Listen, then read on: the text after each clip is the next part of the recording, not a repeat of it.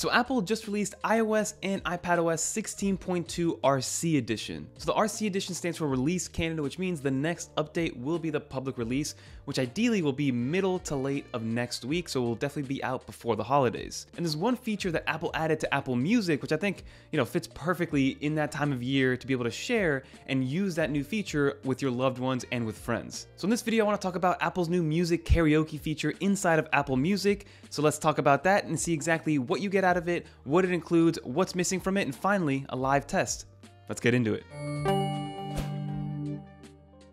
So before I show you the actual live demo and how it works, I do want to reiterate that this is still in the RC, so it's still technically a beta, so you will not have access to this if you are not in the beta program, either the developer or the public beta program. So like I said, it will probably release middle of next week for everybody to try out on either the iPhones or their iPads, or even their Apple TVs. So I want to talk about exactly what Apple Music, this new karaoke feature, does offer. So first off, you do get adjustable vocals, which I'll show you guys exactly how that works, but users can now have control over the song's vocal levels. They can sing with the original artist vocals, take the lead, or mix it up with millions of songs in the Apple Music catalog. You also get the real-time lyrics. Real-time lyrics have been there for a little while now, and it's actually one of Apple's best features in Apple Music. Obviously, the competitors like Spotify have lyrics available as well, but there's something about Apple's UI which makes it very, very nice to kind of just read through and follow along even before this karaoke feature did come out. So you also get some background vocals, and what this means is that vocal lines sung simultaneously can animate independently from main vocals to make it easier for users to follow. And then finally, you also have a duet mode in here. So Apple's kind of thought of everything. And again, this is one of those features where it's like, you don't really need to have it. Apple didn't need to do this. It was just a feature brought over to us, I guess, for free for all Apple users that already pay for Apple products to begin with. So it was nice that Apple added this feature. And again, features don't need to just optimize your life. Features can just be there for fun to share with your loved ones. But the duet view allows multiple vocalists to show on opposite sides of the screen to make duets or multi-singer tracks even easier to sing along.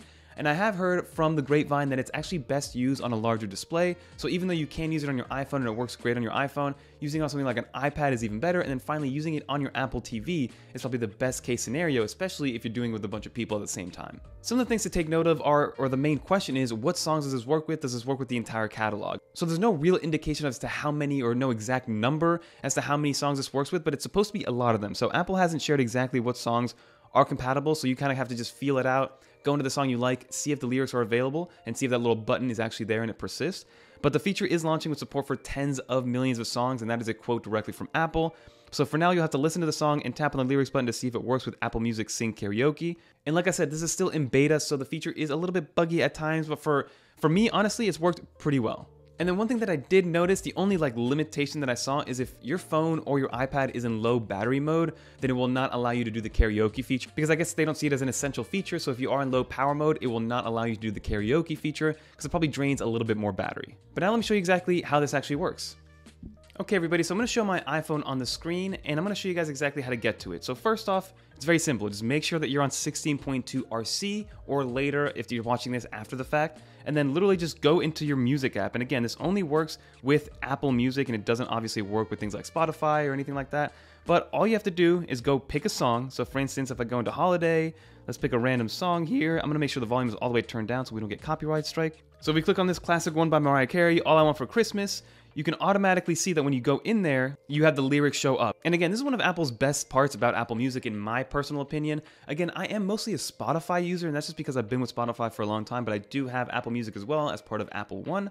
But again, the lyrics is one of the best parts. So if you're in the lyric screen, all you have to do is tap on the lyric screen just to bring up the actual menu, and then you can see that there's a little microphone with some stars on there.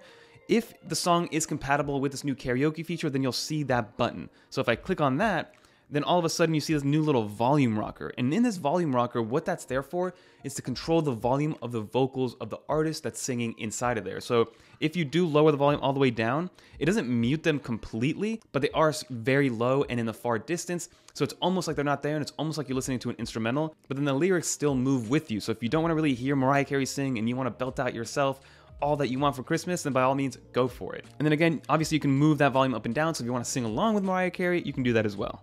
And one more thing that I did notice is that if you click on a song and you open it up, there's a little sing icon right underneath the scrubber or the timeline scrubber to let you know like, hey, you can actually use the new sing or karaoke feature with this right here. So that is what it looks like on the iPhone. I wanna quickly show you what it looks like on the iPad and then we'll finish up.